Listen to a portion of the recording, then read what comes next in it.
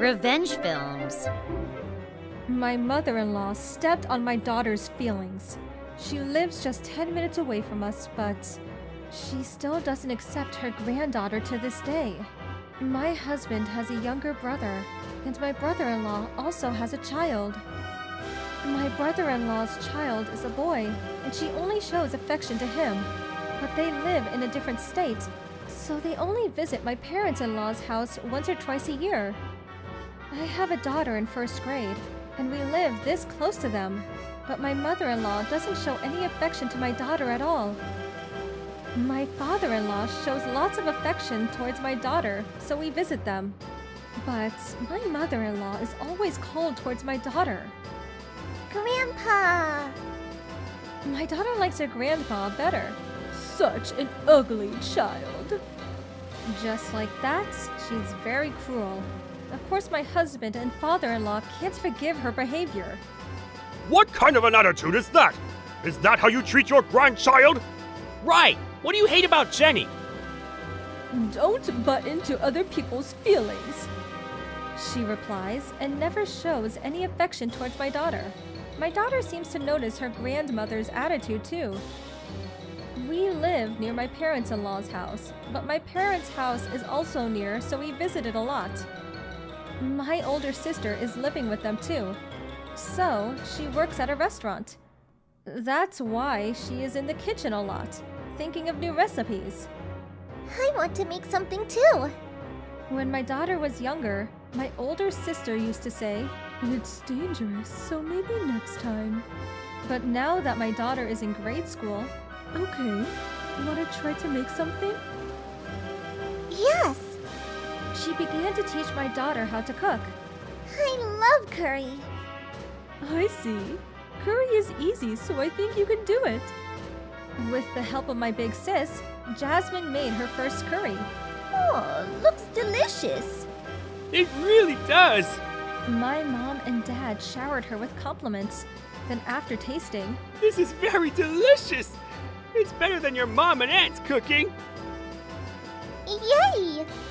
She said happily. Then, Can I bring it to Granddad too? she asked. By granddad, she means my father in law. There's no problems with my father in law, but the problem is my mother in law. She's always very cold towards Jasmine, so I thought there's only a small chance that she'll eat Jasmine's cooking. I don't want Jasmine to get hurt, so I didn't know what to do at first, but respected my daughter's feelings. Then, we brought the curry to my parents in law's house. Wow, amazing! Jasmine, did you cook this? Yes, we made it together with my aunt. Okay, well then, let's eat it. He said and ate the curry. This is delicious. You have a talent for cooking. My father in law ate the curry and was satisfied. But the problem is my mother in law. Grandma, eat it too. My daughter said, but my mother in law ignored her as expected. Um, my daughter did her best to cook this curry, so how about just a bite? But she continued to ignore. Then my father in law shouted in anger. Your grandchild put her heart into cooking this curry. Why are you ignoring her? Anyone can make curry. There's no need to exaggerate that you made it. She replied in anger and marched inside. I'm sorry about that. Your curry is the best in the world. It's a hundred times better than your grandma's. He said, and my daughter, who was about to cry, happily nodded. Yes, thank you, Grandpa. I'm thankful that my father in law said that, but I can't forgive my mother in law for stepping on my young daughter's feelings. So, ever since that incident, we haven't visited them. One day, my mother in law invited us to their house. It was their golden wedding anniversary.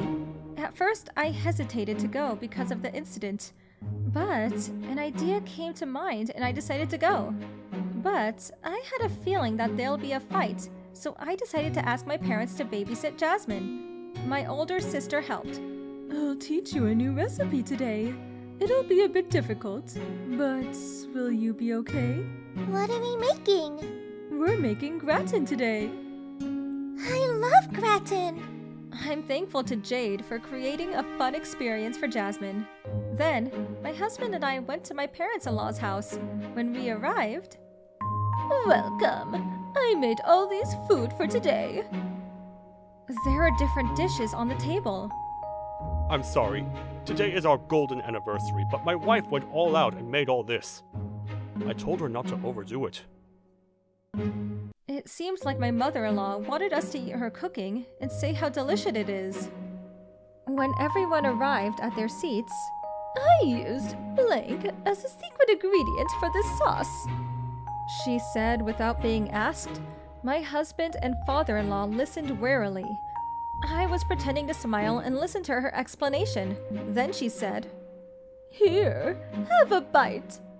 No thanks, I said, and her eyes opened wide. Huh? Oh, didn't you hear? I said no thanks. Do you have any idea how much time it took me to cook all this? Hmm, not at all. But anyone can cook like this. What did you say? Say it again! She shouted, so I laughed and replied, Oh, have you gone deaf in the span that we haven't met? How rude! I can hear you loud and clear. What a rude wife! I cooked gourmet food for you. But the last time we came here, you did the same rude thing to my daughter, didn't you? Anyone can cook a dish like that. Right, I can make it too. But that curry is my daughter's first ever dish. You didn't eat a single bite and even made fun of her. That's not what a grandmother does, right? Don't compare my gourmet food to that curry. After she said that, a loud bang came from the table. My husband and father in law were furious, and their faces turned red. Jenny is right! You didn't even eat a single bite of your grandchild's cooking! Why would anyone eat your cooking? Stop being silly! I've been holding back until now, but I've had enough! Get out! He shouted at her. Right, I've had enough already too. You haven't even so much as tasted my daughter's cooking. Golden anniversary? I'm sorry, but I'm cutting off my ties with you today. Wait, what are you saying? My father in law brought a bag from the house and said, Hurry up and pack your things and leave! She turned pale and placed her things. Then he kicked her away. I'm sorry for everything she has done to you. Dad, no need to apologize for her. You've always been good to Jasmine. Right, Mom is the one who's at fault. But what are you going to do from now on? I think I have no other choice but to get a divorce. Um, how about you live with us? I think Jasmine will be happy to live with you. Really? Of course. Then, my father in law sold their house and decided to live with us. By the way, my mother in law went to my brother in law's family after divorce. But it seems like they didn't have a good relationship with his wife, so she was rejected. Their house is already sold, so she had nowhere to go home to. It seemed like she was asking door to door for a place to stay, but there's no way that people will be kind to someone who can't be kind to anyone.